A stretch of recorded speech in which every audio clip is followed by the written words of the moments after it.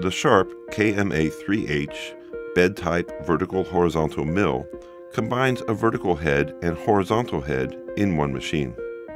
This machine allows for vertical and horizontal machining with only a single setup of the workpiece. It not only reduces machine investment costs, but also increases machining accuracy and efficiency.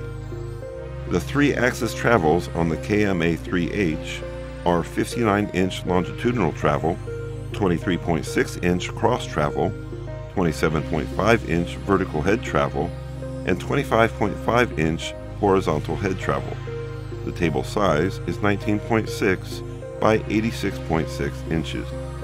Box ways on the base and column are hardened and precision ground for maximum wear resistance and rigidity.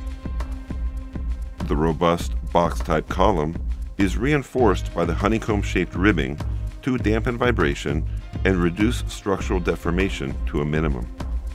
All structural parts, such as base, column, saddle, and table, are manufactured from high quality cast iron, stress relieved to ensure deformation free performance year after year. The horizontal milling head moves along the side of the column.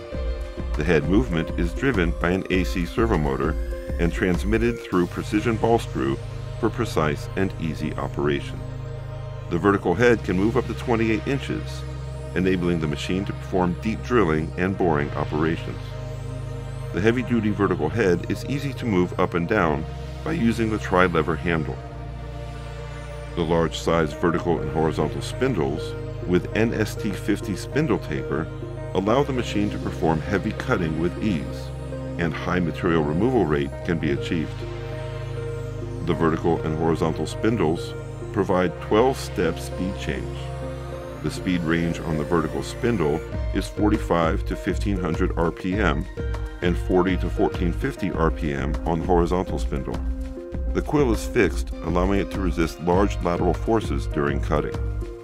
Unlike the traditional method of backlash elimination by squeezing a split nut, the Sharp KMA3H employs double nuts for backlash elimination. All reference surfaces and T-slots are precision ground to exact tolerances. The pendant control box makes it easy for the operator to access the machine controls. The operating panel provides additional buttons and switches for the control of the horizontal head.